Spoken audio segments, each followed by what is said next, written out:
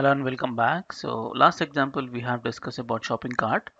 Uh, so in this video we understand uh, a new concept that is uh, a nested component. Okay, nested components. So what is nested component is a component inside another component. So as of now we have taken all different all independent components right? So there is no connection between each component okay? So I want to have a nested component.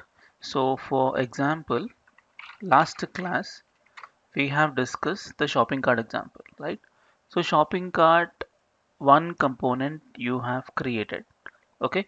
So in the shopping cart uh, I have taken uh, four products.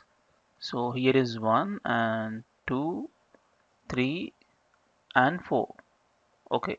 So uh, this complete thing is one component and you render everything in one component. But I want to take a little optimize this example. So how to optimize this uh, you can take this outer one as one component that is shopping cart. Okay. And I want this one. I want the each cart to be one component. For example, uh, when you see our shopping cart uh, HTML, see here, uh, this is heading uh, for here. And then this each card is there no? So each card code is this much. So what my plan is instead of uh, you know writing this this code here uh, if you write a code like card and everything and this code only works this cannot be reusable because which only you know which is written uh, shopping cart. But I have to use the same snippet in multiple other places if I required the same kind of card to be displayed in the components. So what my plan is I have to take this particular card to one component and I have to pass on the data.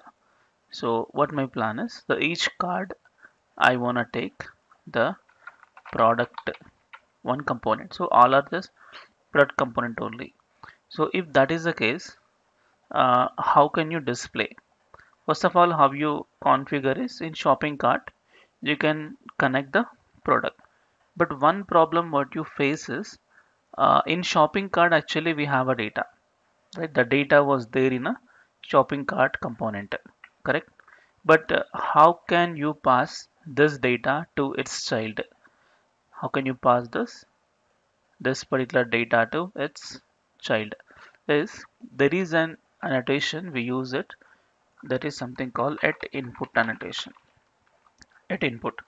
So you declare at input in the product uh, with a variable and that variable receives data from the shopping cart to here okay and as a parameter. And that you can read it and display. Okay so let's see that example practically.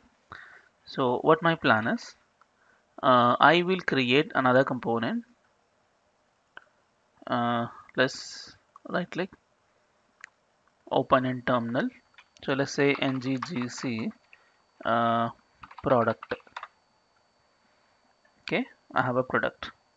Now in this product ts file so I will be receiving so this indicates the each single product. Okay and that product interface I want uh, let me copy that interface go to product component. I'll, I'll have it here. Okay. Now here I'll say at input. At input you declare. Space product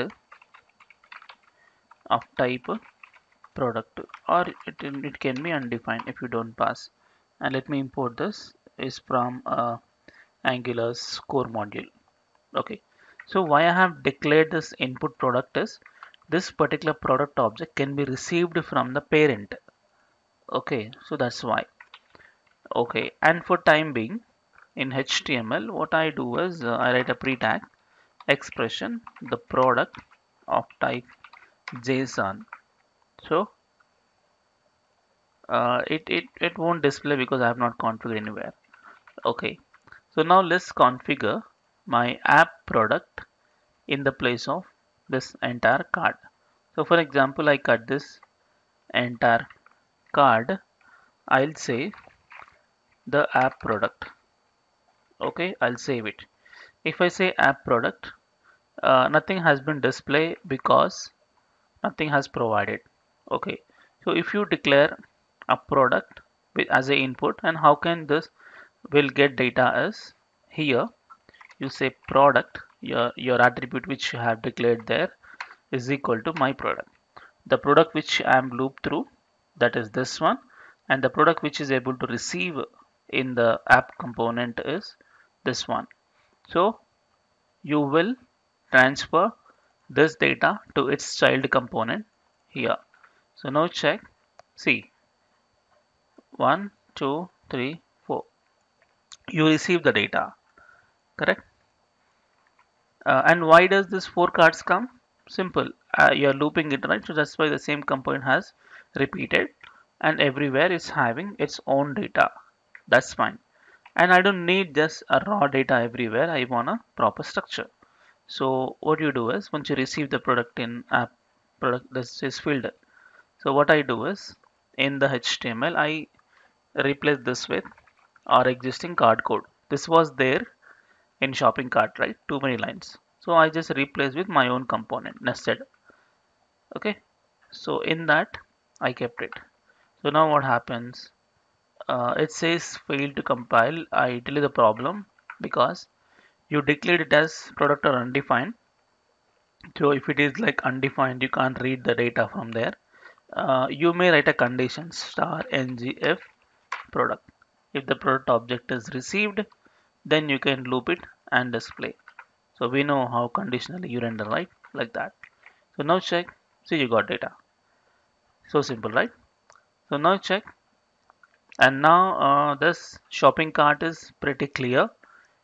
And I have replaced that entire card code with my own component and how to transfer data from parent. This is the parent. From there I'm transferring to the child.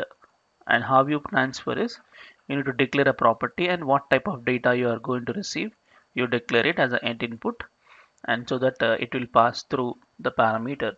So this left hand side value is the property which you declared as input in the child and the right hand side will be the data which you're transferring to the child.